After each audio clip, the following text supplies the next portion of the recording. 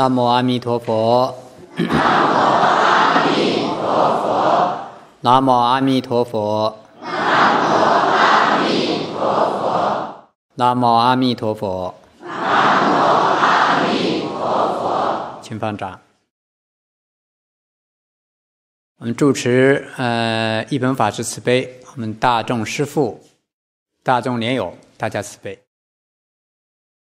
呃，今天在这里呢，我想跟大家呃讲的课题啊，是共同学习的课题，就是爱的建设。这段时间上来经常会有一些文章发给我，其中有关于爱这方面的内容比较多啊。我呢也也写过这一方面的短文。上提到爱的建设什么呢？就在爱中建设身体啊，这是文章的原题。就说我们不光是一个团体。我们是一个有机的身体，阿弥陀佛和我们是一体的，我们互相之间也是弥陀的手足，也是一体的，就像身体一样。如果头痒，手去抓它，这是自然的，这叫同体大悲，一个身体嘛。那么你有苦恼，呃，那众生苦恼，我苦恼，呃，佛菩萨他就这样，众生安乐，我安乐，你是一个身体。所以在这个情况下，阿弥陀佛救度我们，那是自然而然的。那没有，它是一体，还有什么分你我呢？所以救度我们自然而然，一个是自然来救我们，而也是自然的能够救我们，很简单一件一回事儿。那我们本身这个呃，应该叫寺院呢啊，道场啊，是一个团体呀，它也是一个身体。那么上来讲的话呢，给我冲击就很大。他是这么说的：，比如说道场团体一般都要搞活动，都要搞弘法，不然呢没有人气不来。上人说，我们不是以弘法。和搞活动为目的的，也不是以这个来可以建设团体、建设这个身体的。弘法和活动，如果大家没有爱心的话，可能还增加压力，可能这个团体还要分啊，不能不能建设，所以是要以爱来建设这个身体。他其中讲那个例子，说二战期间，呃，英国一伙的儿童就送到澳洲，因为会要回避战火嘛。那么在那个地方呢，吃的住的什么都，那个澳洲是他的殖民地啊，吃的住的用的都很好，都一样。但二战结束之后呢，这些儿童回去都普遍的发现，他们都有心理的疾病，啊，都不健康。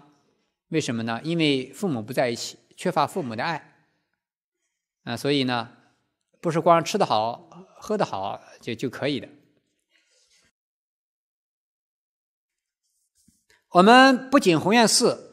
我们各地的念佛堂啊，各地的分道场也都有爱的建设这件事情，而且我们每一个人自己也有爱的建设。我在这里刚刚讲，我们共同学习，这是一个大的课题。只有在爱心当中，我们呢，呃，才可以脚踏实地的发展。那我想呢，有讲这个主要讲三方面。爱自己、爱他人和互相爱，但主要是爱自己啊！爱自己不是爱别人啊！我们讲爱的时候就爱别人，你爱自己都不会爱，你会爱人家吗？啊！首先是爱自己。这个爱呢，在佛教里边啊，是两重含义，一个叫法爱，一个叫做恶鬼爱。法爱就是以佛法。这个原则以佛法的利益来爱众生，这叫法法爱，从法上清净的所流露出来的。那么恶鬼爱呢，就是世间的，是以占有、贪欲这些，这个当然是不清净的、染污的，啊，是危害的。所以佛法里讲爱呢，是有两种含义。一般的，比如十二支缘起当中讲的爱，它就是流转、流转之因，所以爱不重不生娑婆。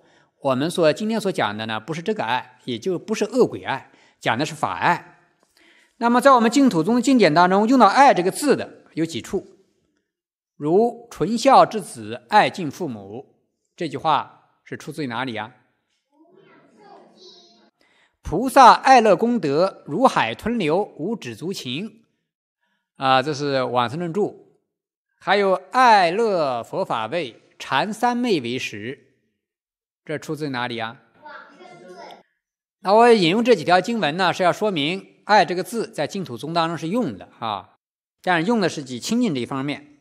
我们这十几年来所做的教理建设、弘法工作，其实呢也都是爱的建设。这个就是打底肥法义是我们爱心建设的底肥。你如果没有法，呃，什么爱的建设，那都是空的。在世间，你爱我爱都是恶鬼爱，那不行的，一定是法爱。那法爱首先就是法，要要以法的啊熏修、法的学习扎根。那么十几年我们都在做这工作。现在为什么呢？现在又提出这个题目，是要把它更加的鲜明化、实践化，让它念佛、念佛生活化当中呢更加灵活的呃善巧的运用。因为我们有些人虽然念佛了，仍然是苦苦恼恼，啊，仍然心里面不开心。你看见他总是两个眉头总紧锁，好像一把大锁老是锁在眉头上，多重呀！说话总是唉声叹气，呃，总是抱怨的挺多，这个都都都有问题啊！这个就是爱的见识还不够。而且我们这两年呢，团体在法门在快速扩张，快速的发展，人员。外派也很多，这个你们可能大家都有感受，尤其是像女中这边佛莲法师，男中像净业法师，那他就感受特别明显。就我们人员不断的扩张出去呢，他急需内充，因为你出去以后就会耗动你，等于就像这个萝卜一样，萝卜已经发芽了，是不能成为空心萝卜。你发芽抽了空，就如果没有补充，只是长叶子啊，发芽了。看了好像是很欣欣向荣了，你看，叶子长出来了，但是里边呢空心了。如果说我们也发叶子，你看到外地积分道场了，呃，都弘法了，如果里边没有，这就空了。那么这里边要用什么来充实呢？那就是爱心来充实啊，就是我们干事情啊需要能量，这个能量从哪儿来？就是爱心，不然干干了就觉得累了，就要甩挑子了，那就是爱心不够。所以我们这现在上人提出来爱的建设呢，是正好到这个时候点儿啊。所以上人每次的说话，对于我们整个团体的方向和当下的形势啊，特别结合，呃，就好像在我们坐在我们心里一样。呃，这就是理论要到实践当中。我们学了很多法义，听了很多，也会背，也会讲，但如果你自己活得不欢喜。啊，这个就是 哈，这个就是不够的，所以理论要到实践。说弥陀非常慈悲，我们这个法门是慈悲的法门，是爱心的法门。那么你在宣讲慈悲法门的人，你宣扬爱心法门的人，自己都没爱心，自己都觉得呃能量不够啊，都也那当然就要补充了。所以是在实践的事物当中呢，来享受爱心，落实体现和传播弥陀的爱心。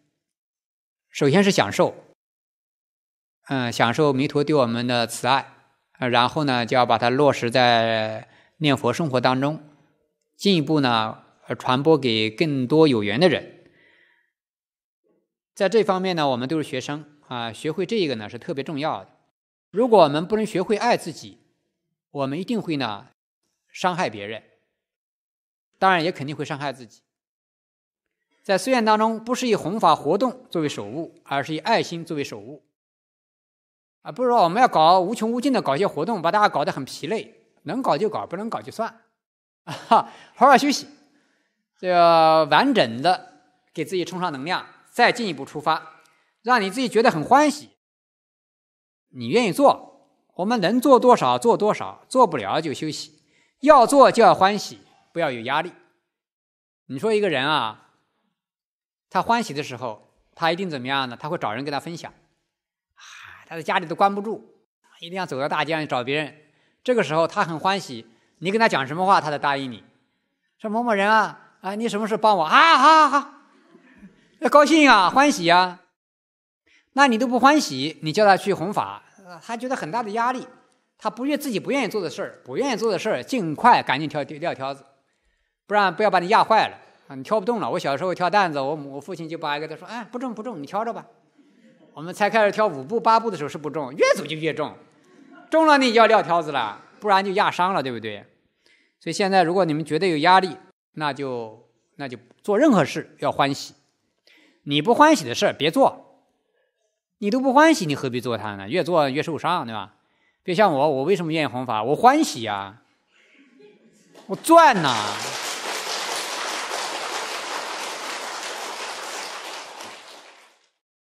你让我做生意，我就不去了，那我就不欢喜啊。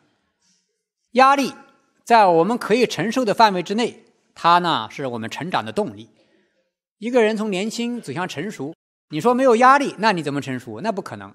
但是呢，是要在我们可承受范围之内，它就会成为动力，压力就有动力。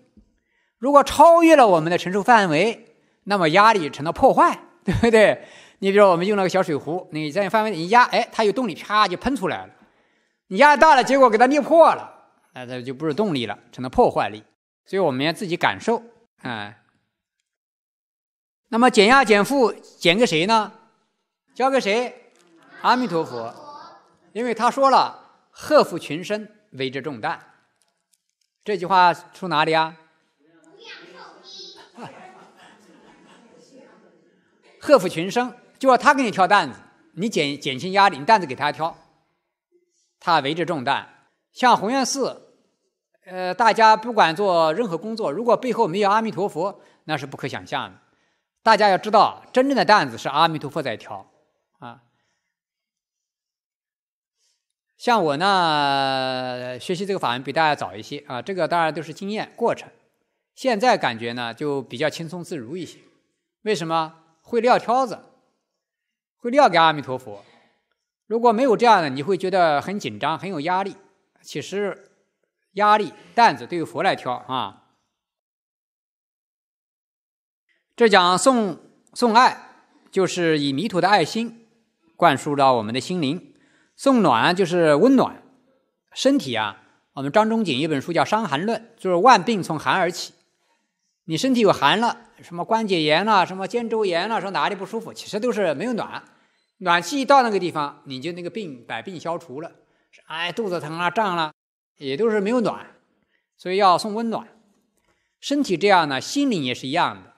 心灵啊，如果是呃没有温暖，只是寒风，它当然就有疾病啊。所以呢，呃，不管是生病还是心病啊，都是由寒来升起的。身体呢要常保暖。心呢要常存爱，爱就是暖嘛，爱心温暖嘛，所以这个我们给自己啊要输入进去。你身体受寒了、受凉了，当然就要生病了。心中没有弥陀的爱心，没有弥陀的暖炉，那当然也要生病了。所以这个暖是温暖，呃，不是炎热。太热了呢，也要得病，要冒汗，是吧？要虚耗能量。爱呢是不娇惯、不纵容、不溺爱。我虽然叫爱，但不是娇惯，说你随便什么都可以，不是这样，也不是纵容我们的缺点和毛病，也不是溺爱，啊，对孩子溺爱对他的成长是不利的，也不是不黏腻，黏着就是纠缠不清，也不热情过度，呃，不情绪化啊，这爱要温和，要适宜，才给别人感到舒服。那我们讲过了，今天主要是也是跟大家分享一下。呃，我个人的心得，希望大家呢共同进步哈。嗯，首先我们要学会爱自己。一个人，如果你连自己都不爱，那你能指望获得别人的爱吗？你们说，不可能。就像搞卫生一样，你自己都不爱你房间的卫生，你指望别人天天给你打扫，谁有那个耐心啊？谁一看？给他打扫白打扫，他他自己都不爱，你自己不爱你这个卫卫生环境，不愿意搞干净，别人不会给你打扫的，因为你不爱你这个环境，你都不爱你自己，我怎么能爱你呢？因为你拒绝，你拒绝了嘛，你不爱你自己等于拒绝嘛，那么别人爱你，哎，也没法爱到你，所以我们首先呢，一定要爱自己，才能获得别人的爱，所以说自尊，然后。人方尊之，就我们自己尊重自己，人家才尊重你。自助，天方助之。你你自己要自立自助，然后别人才能帮助你。就像一个人，他自己不愿意站起来，你拉他，你拉他，他往地下赖，他不愿意站起来，人家拉个一两次也就算了，对不对？因为你他他想躺着睡那个地方嘛，你拉他站，他站不起来啊，他自己不自立，人家怎么能帮他自立呢？爱是一样的。这当中，自立、自尊、自助、自爱，最重要的还是要有爱心，自己爱自己。那为什么讲说，哎呀，我怎么会不爱自己呢？我告诉各位，不爱自己的人太多了，天天都是害自己，天天伤害自己，没有人能伤害你，除了你自己，外面没有别人，只有你自己。什么意思呢？我们要为我们自己所有的幸福，为我们的苦乐负全责，负百分之百的责任。没有人伤害你，这就是佛教讲的因果报应。一件事情反复在那里盘算，反复在那里抱怨，反复在那里呢，思维都是负面的。你说别人能帮你脑筋想吗？不都是你自己想出来的吗？我们常常会说：“哎呀，就是某某人，就是他才让我这么苦恼。”请问这句话是真理吗？但是我们每一个人在心中就抱有这样的邪见，就因为他这样才让我很苦恼。他干了这个事，他说了这个话，所以让我非常的痛苦。这个是很简单的，你怪别人、抱怨别人是很简单的。当我们不要抱怨别人的时候，虽然很简单，似乎这个问题找到答案，因为就是他嘛。但如果说是自己让自己苦恼，那这这个好像这个这个这个药吞不下去，我自己怎么有有错误呢？我这样讲，希望你们能明白。我们下面的很多都是女众，女众这个。这个感情比较复杂哈，好处在于他们比较有爱心，但是同时呢，他他往往会伤害自己太多。我不希望大家伤害自己，哎，那么你不希望伤害自己的话，你要保护自己。你保护自己就要有政治正见。第一个政治正见就是说，我们所有的一切都要自己负责任。你的所有的苦乐，你的幸福啊，你所有这一切，没有别人能代替你。你。我们的痛苦就是我们的心痛苦，那么谁能让你的心痛苦呢？一定是你自己。别人你好像是别人，他这个话让我痛苦，那也是经过你同意的。你的耳朵听到了，你同意他伤害你，他才伤害到你。如果你不同意，你关闭了，他怎么能伤害到你呢？不可能的。啊，你们要学会呀！我这样讲，大家听得明白吗？人生幸福的密码。和主动权要掌握在自己手中，啊，这就是密码，因果报应，这是基本的佛教的知识。万法唯心，一切都是我们自己所造成的。忠言利耳利于行，良药苦口利于病，一切都是我们自己造成的，我们就没有就不能推卸责任。当我们抱怨的时候，我们是很简单，我们抱怨说：“哎呀，就是他人，你谁谁谁造成了我的不幸。”虽然这样很简单，但其实呢是把自我幸福的钥匙也交了出去。你的钥匙好像在别人手上，但是对方呢其实也没拿到你的钥匙，他不管你的事情啊。你说你交给他了，他也没拿到，那这把钥匙到哪去了呢？就扔到了荒郊野外。那对不起，你幸福的门的钥匙已经扔到了荒郊野外，你会永远被关，叫闭关，永远被闭关在不幸的房间当中。你说你多痛苦呀！所以，打开幸福的门的钥匙就是你要自己承担。就说我们爱呢，是说爱我们自己那颗心啊，这颗心非常的柔嫩。那你要让它呢，呃，不要受风寒啊，不要冷着，不要冻着啊，不要呢受伤害，呃，不要让他呢受情绪的呃干扰侵袭，不要让他有不平啊，不要让他生气。你说你生气是你自己生气还是我帮你生的气啊？都是自己生气的。呃，尽量不要生气。那么你抱怨对我们有好处吗？没有。好处，尽量不要抱怨，不抱怨不生气。抱怨的人往往都有很多理由。你有理有什么用呢？你有理能让自己快乐吗？能让对方快乐吗？你抱怨能够把这事情解决更好的解决吗？抱怨一点用没有，有百百害而无一利。抱怨只让我们的心呢沮丧，让我们的心受伤害。所以我们要认识到这一点。首先要认识到啊，这是一个政治正啊，就是政治正见。认识到说我们自己的事情呢自己负责。那我们应该对我们的心怎么样呢？要时刻的给他温暖，给他爱心，给他阳光。给他正面的能量。我微信里边有这篇文章说，耳朵不如嘴巴聪明，你们还记得吗？我们嘴巴吃了不好吃的东西，这个声音这个东西对我们身体不利，比如说苦的啦，这个霉变的啦，什么一个呃发霉的花生米啦，你吃了很香了，突然来一颗臭花生米，嘿呸呸，刷牙，它马上就挡直了，不让它下去，因为吃下去以后有毒，它马上就身体反应不了啊。好。身体是靠食物，心灵是靠什么为语言？心灵靠什么为食物呢？心灵是靠语言，靠思想。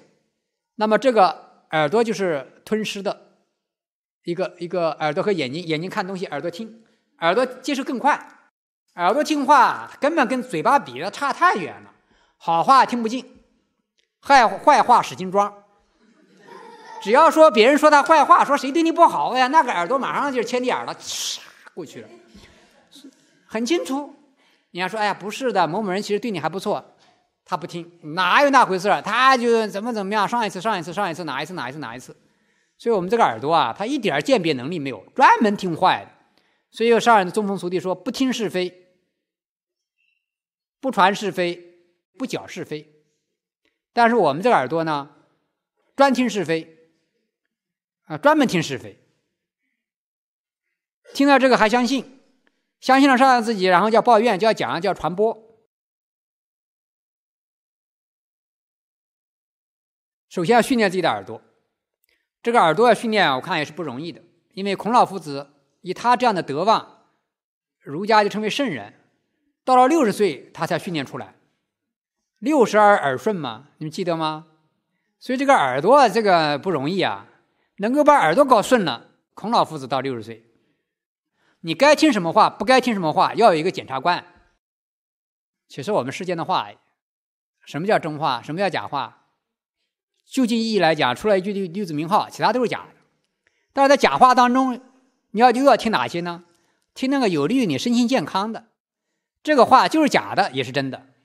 它只要让你能够到达真实，得到真实的利益，能够让你有真实的喜乐，这个就是真的。你听那个话很真，是真的。然后听到那里的，然后呢，就是这个高血压、脑溢血。你这个听话，这真的听下有什么好处呢？真的就一定要听吗？像吃饭一样，真的毒药，敌敌畏。你你真的你吃吗？不是真的就要听，是要听那个有利的话，对自己的身心健康有利的。非礼莫听，非礼莫视，非礼莫闻，这这都有道理的。那么我们听也是一样的，要听那个和和的。有利于和合，有利于欢喜啊，也对我们身心健康有帮助的。如果一听到这个话，心里很烦起毛，那你不要听，一定是是非，你就找机会打止啊，要立即把它清除干净。在修行八颂里边，第三颂啊，我们的法师可能会背，你们会不会背？啊，第三颂就是呃，观心断惑。愿我恒常观自心，每当烦恼出萌生，危害自己他人时，立即强行令断除。我们的心起心动念，是你自己知道呢，还是我知道呢？那肯定你自己知道啊，你你立即就知道了。不要没也不需要打电话，也不需要说，因为我当然不知道，我也没他心通啊。你自己立即就知道了，你心里面到底现在什么样状态？我是苦恼的还是欢喜的？我是爱心的还是怨恨的？你这不马上就知道了吗？好，知道哎，这个不舒服了，不愉快了。就像我们身体哪里有不愉快，哪里痒痒，你一定要去挠痒啊；哪里疼，你一定要去护疼啊；啊，哪里酸，你一定要去揉一揉它。你不是立即吗？你说哎呀，让他管他呢，让哎，不可能的。当我们的心。呃，有了不舒服了，你就要去爱他。他是一个叫做赤子，就是小小的婴儿，心非常的柔嫩，你不要伤害他，风吹都不能吹。哦，你要去保护他，你把他保护好了，他就会给你喜乐，会生产出很大的福报出来。你伤害他了，他会放出毒气，然后呢，你就搞得不快乐。所以，每当烦恼出萌生。当我们心中立立即警觉到这是一个烦恼，让我们产生了啊不愉快，那么你现在怎么办呢？首先要伤害了自己，如果你不警觉，他出去就要伤害别人。那现在呢，立即就给他停止。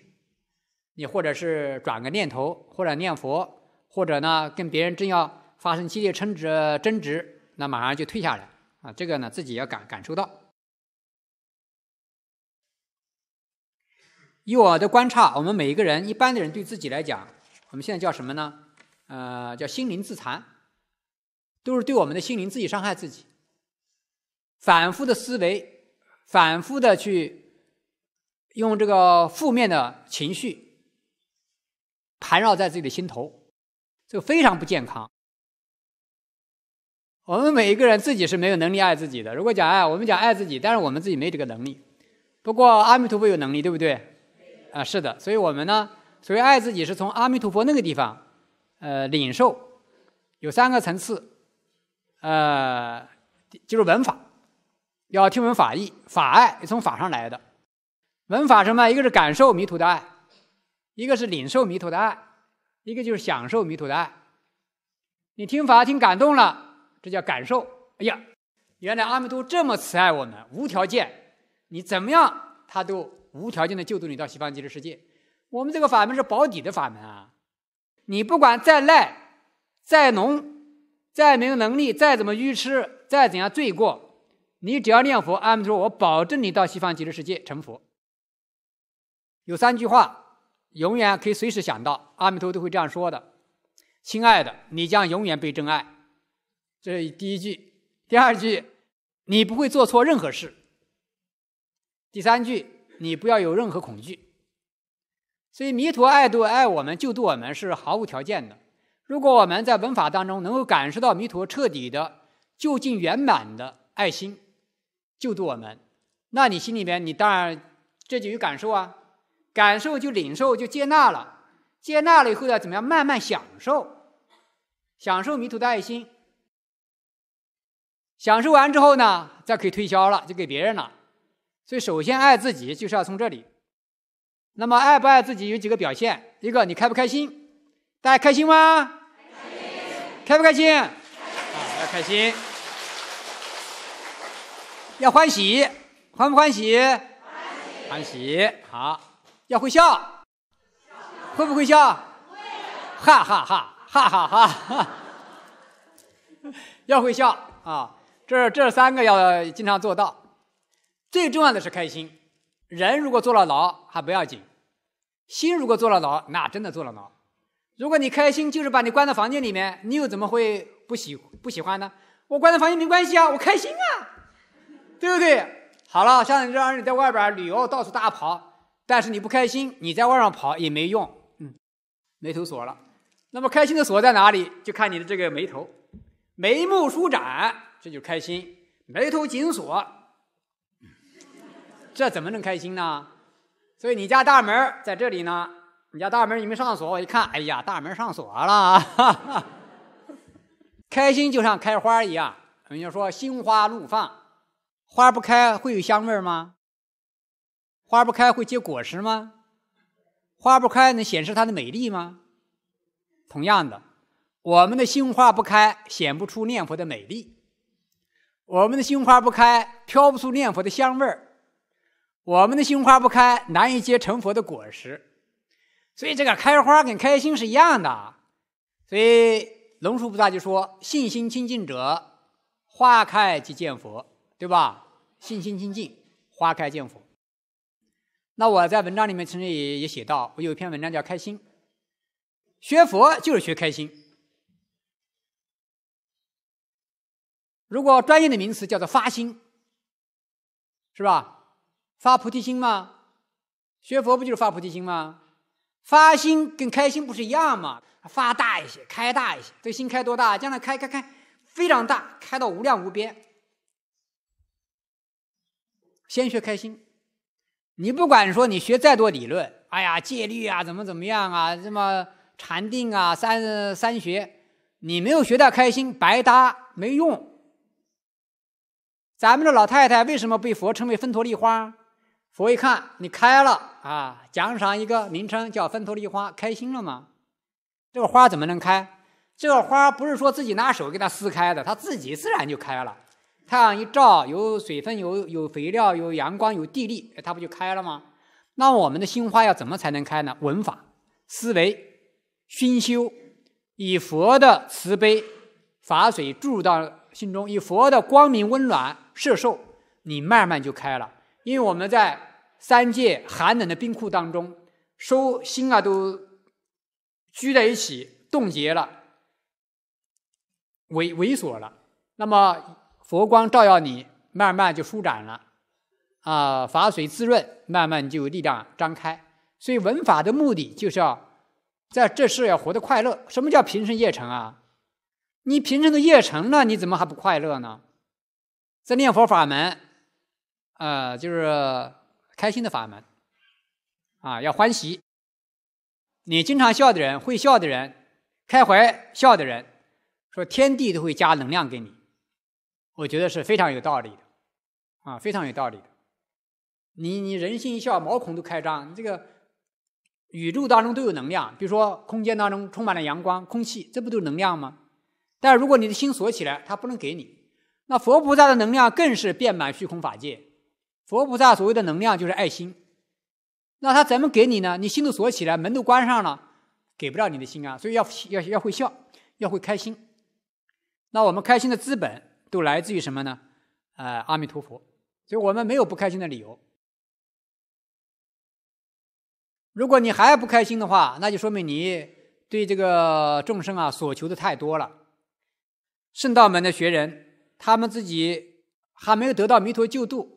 自己呢还没有解脱生死轮回，都要布施爱心给人家了。说我要我要帮助人家，那我们学这个法门的，那更要布施爱心给大众哈。所以我们每个今天呢，大家我们每个人从现在开始啊，关照我们的内心。呃，如果我们学佛多年，呃，学这个法门多年，仍然是愁眉苦脸啊，仍然是怨气冲天，仍然不会开开心心、欢欢喜喜。啊，那回去补这一课哈。这个也有几个原因，一个就是个性，他的个性就是愿意，就是怨气，因为个性是长期形成的，可能这目前还没有回回暖，没回过来。再一个呢，可能是法医上没深入，对境锻炼的还缺少。这个三界是呃生死的漩涡，烦恼的风浪，但是我们学的这个法门，我们等于进了六字名号的保险箱。那你自然就是很自在了，你就很放心了，就没有风险了。你如果对自己好了，你能爱自己了，你家庭就好了，也对家庭做了贡献。如果在常住当中，你能够爱自己，心中有和平，那你就对常住做了巨大的贡献。在人类在世界心中，如果爱自己，对这个人类世界的和平都做出了卓越的贡献。这个你在这个世界上，我们讲和谐社会，你就是和谐因子。你对佛也尽到了孝顺，啊，这样就对就算孝顺佛了吗？这样就算孝顺佛了。因为下面很多做父母的，做父母的往往都会说，说哎呀，我这儿子、闺女，他在工作，他在上班，只要他们自己过得好就可以了，就算对我的孝顺了。为什么呢？因为我也有自己的退休工、退休金，我们老两口也可以互相照顾。结果他老他小两口经常吵嘴。经常打电话讲一些事儿或者什么事，你自己搞不平，你父母到处为你操心。你只要把自己摆平了，父母说这个就算是阿弥陀佛了，就算你孝顺了，是不是这个道理啊？说阿弥陀佛对你还对我们这样的小凡夫还有什么指望吗？你能把自己搞平了，我就算对我的孝顺，就算哎呀就太好了，因为佛的心是系挂在我们的身上。众生欢喜，则令诸佛欢喜。我们就自己就是把自己摆平了，那阿弥陀就非常高兴。下面说我们爱他人，嗯，那怎么爱他人呢？以凡夫的本性都是自私自利的，啊，损人利己的。但是我们要明白一个道理：损人一定不能利己，啊，因果报应，你损害了人家，将来一定会自己，不仅将来，甚至现在就要遭报。自利。如果你真的能够利益自己，也一定能够利益别人；真的利益别人，也一定利益自己。就像手电筒的光一样，你能给自己照亮，你当然能够给别人照亮啊。我们照亮了对方，也一定照亮了自己。所以自利和利他呢是完全一致。为什么呢？因为这个就是爱，爱是一定是能爱自己，一定能够爱他人的。真爱一定是平等的，一定是无私的，一定是无我的，一定是无分别的。就像光明一样，他能照亮自己，也一定能照亮别人。一个有爱心的人啊，他总是想到怎样利益人家。所以我们说呢，财施法施无畏施，无畏就不施无畏。那么你给别人爱，这就是没有恐惧。在爱心当中，比如说我们我们在像这个小鸡在老母鸡的翅膀下，它感到很安心，没有恐惧。我们小的时候在父母的呵护下也感到安心。你看小孩子啊，他就非常明明确啊，如果遇到陌生的环境。他就感到恐惧，他马上把他妈妈腿抱紧一点，为什么？他感到安心啊，感到有依靠啊，呃，感到无畏呀。所以我们也一样的，我们要给别人爱心。我们自己如果还有恐惧，担心这担心那，怕这怕那，那说明哈，你跟阿弥陀佛之间还需要进一步的加强沟通了解了解。不要怕这怕那，不要担心，没有什么好害怕的。阿弥陀佛看见一切，照顾一切，保护一切。你就放心大胆吧，要归命阿弥陀佛，你要有勇气，你要能够把自己舍给阿弥陀佛，你不能舍掉，你就不可能爱自己。所以讲爱这个字，你要有那个福报，你才能够得到这个爱。所以爱是有也是有级别的，有的人呢就是这这个世间五欲的爱，他只能享受这个，享受不了清净的爱。没那个福报，你要给他亲近的爱，把他伤害了，啊，反而给他伤害了，因为他只有那个水水平。所以像我们各位，我们各位，那你不得了啊，大善跟大福报啊！你能够听闻、领纳、享受弥陀的爱，弥陀的爱是整个法界里边最纯的、最高的、最亲近、最彻底，能够把你爱成佛这种爱，你能够接触到。你能够领纳、消化、吸收，那你是这就是不退转的大菩萨，六十七亿之中之一。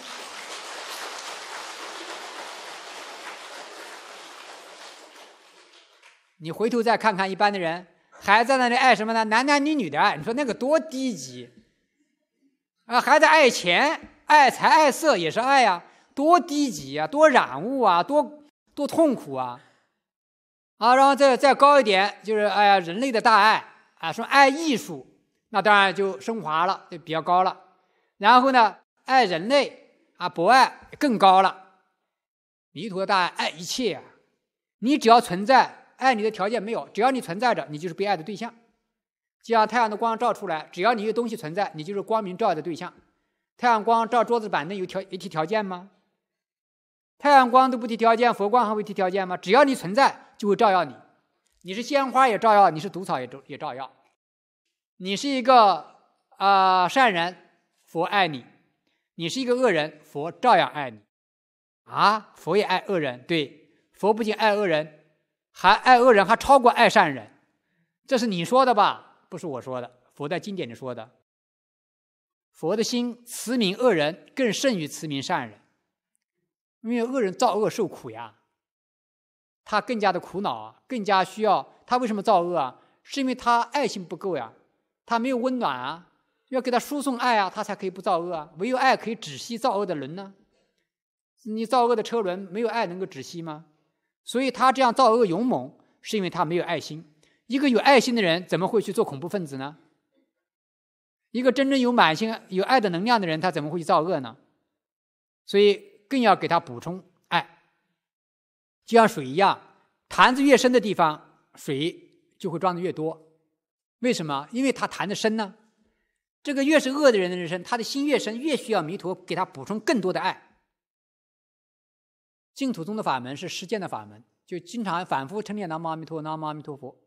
你说再多理论，如果没有实践的话，等于是空的。你只要会念佛呢，你自然能够感受到啊，自然就有佛的调化。当然，爱是一种是一种心念。比如说，我对人家存着善心，存着好感，存着一定想帮助他的心。当然，我们作为凡夫，我们的能力是有限的。比如说，现在啊，人家缺钱了，人家没地方住，人家有苦恼，人家生病了，你又不是医生，你有没有足够的？那么你爱的能力，你的行动力是有限制的。但是我们的爱心呢，可以是无限的，是不是这个道理？我们坐在床上也可以想啊，哎呦，让天下的人都快乐，让天下的所有的病人都健康，让天下所有的穷人不要受苦。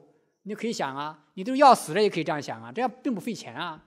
你想的快乐、高兴，就这么一想，就就福报税收来了，多高兴啊！哎，想一想，很好的。大家对我都有爱心啊，对我给了我这么多的爱帮助，像我更是这样的，点点滴滴怎么能离开大家呢？做任何事情都要靠大家帮助成全。所以，爱是行动，是实践，不是空头理论。就是我们要呃，首先是心中存在爱心，当然我们可以去做这个爱的事情啊。我也写过一篇文章，在爱当中没有大事情，都是小事。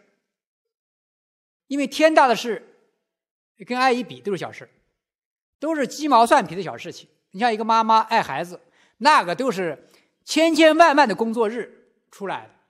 妈妈爱孩子啊，这个是天性本然。妈妈对孩子的付出的工作量，如果用计算计算，你计算机的爆炸，没法算。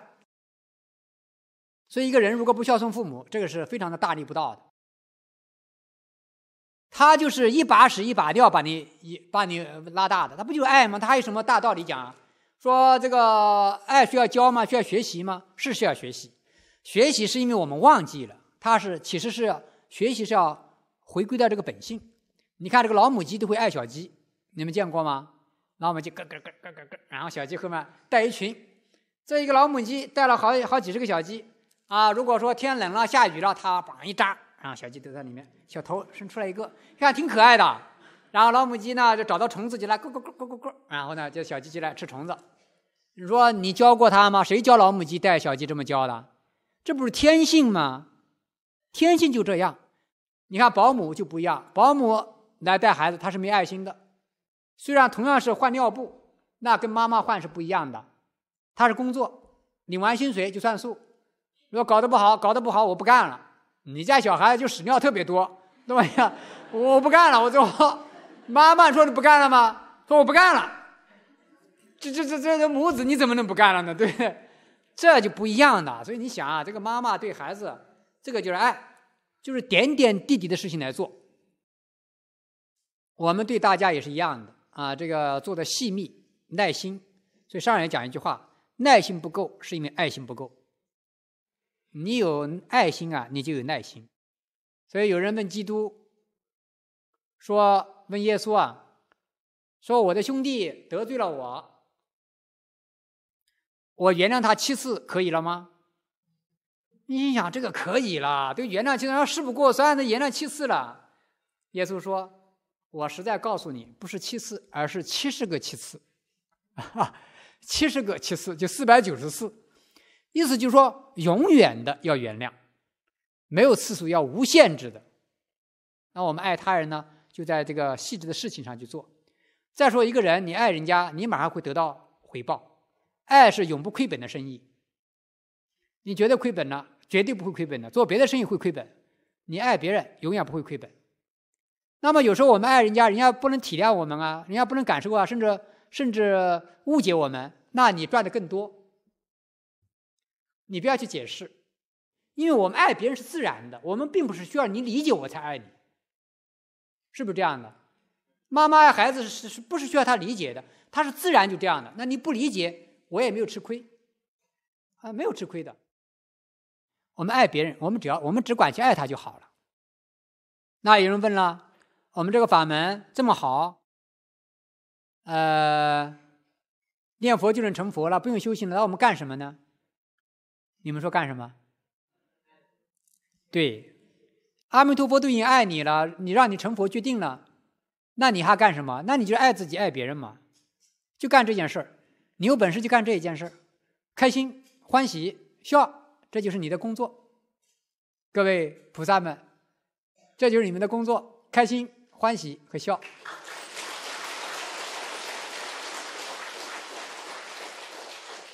好好的干这份工作。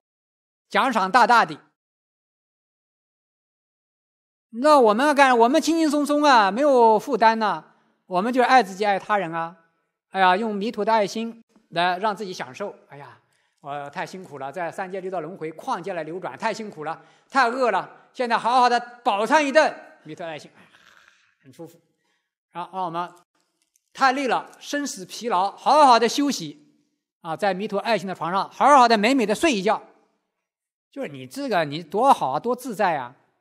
所以我们呢，就专门做这些。你你只要这样，别人就会喜欢你。像一个苹果放那里呢，它就有芳香；像一个灯放那里呢，就有光明。啊，一个有爱心的人，你坐在那个地方，人家会喜欢你的，因为你心中啊，你总是散发这种欢喜的一种喜悦的心情。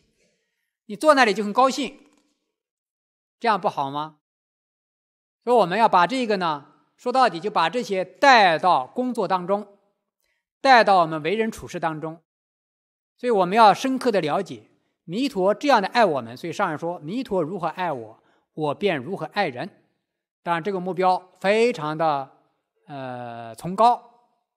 这两句话，首先要做第一句话，你要感受到弥陀是怎么爱你的。如果连弥陀怎么爱我你都不知道，你当然没办没办法去爱人家。所以呢，首先把第一句话，我们的法医学习都是从这句来的，仔细的去体会和感悟。说到底，不在于你有多少的本事，有多少能力，不是的，是看你有爱心、有慈悲。爱是幸福的来源，爱是幸福的本钱。那么，爱又什么为本钱呢？佛就是爱的本钱。所以我们念佛其实是一个转化，是把佛转化为爱。爱转化为幸福，福转化为喜乐，喜乐转化为身体的能量，然后再转化到我们的工作当中去。这是一个链条，啊，希望我们在做，呃，在生活在工作当中，能够把我们学到的佛法的慈悲、爱心的法门，首先落实在自己的心中，让自己快乐起来、开心起来、啊，欢喜起来，要爱自己，然后。你就有能力，你自自然然的就爱他人。我们在自爱和爱他当中互相爱，这样我们这个团体呢，就是非常的有力量、有爱心。那么别人一到我们团体里面来，他不需要你这个团体有人讲法，他一进来就被融化了。你看，哎呦，这个团体很好，互相之间啊很有爱心，一走进来很放心、很喜悦、很开心，没有什么这个纷争、斗斗争、纷争、对立。他就感到很祥和，这个本身对来的人都有啊这个融化的作用。那我们自己呢啊自己的内心啊也会更加的充实和健康。所以我们希望我们每个人哈爱自己爱他人互相爱。南无阿弥陀佛。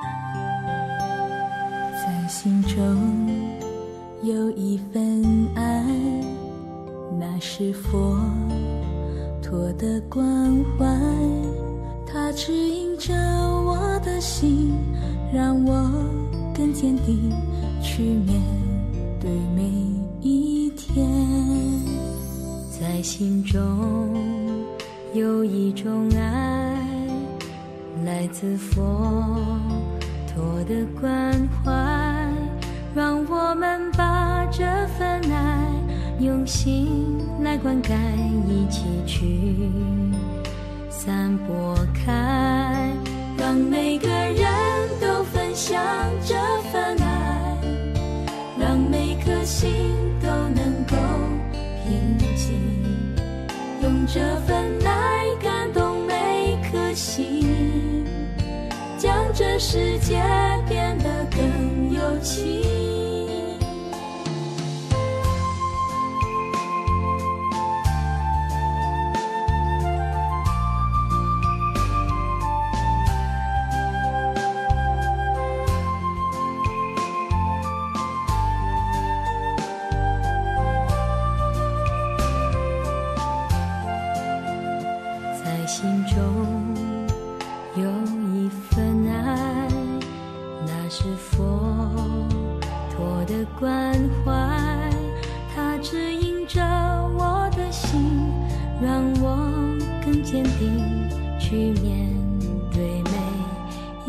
天在心中有一种爱来自佛陀的关怀。